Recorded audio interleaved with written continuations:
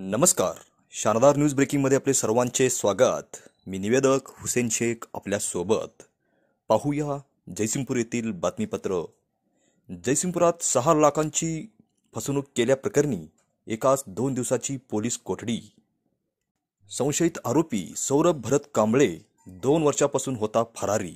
पाहूया सविस्तर बातमीपत्र.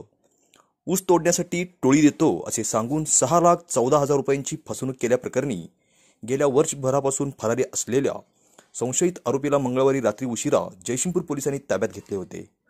सौरभ भरत कांबळे वयवर्ष तेवीस राहणार सरकारी दवाखान्याजवळ नंदेश्वर तालुका मंगळवेढा जिल्हा सोलापूर असे या मिळून आलेल्या संशयिताचे नाव आहे. त्यास येथील प्रथमवर्ग न्यायालयासमोर उभे केले असता दोन दिवसाची पोलीस कोठडी न्यायालयाने सुनावली आहे. मंगळवारी संशयित आरोपी नंदेश्वर तालुका मंगळवेढा येथील घरी आल्याचे समजले होते. त्यानुसार महिला पोलीस हवालदार सौ Prabhavati Sawant police Naik Vilas Nikam police constable Mangesh Patil यांनी सापळा रचून कारवाईमध्ये त्याला राहत्या घरातून ताब्यात घेतले होते. शानदार न्यूजसाठी जयसिंगपूरहून प्रतिनिधी हुसेन शेख.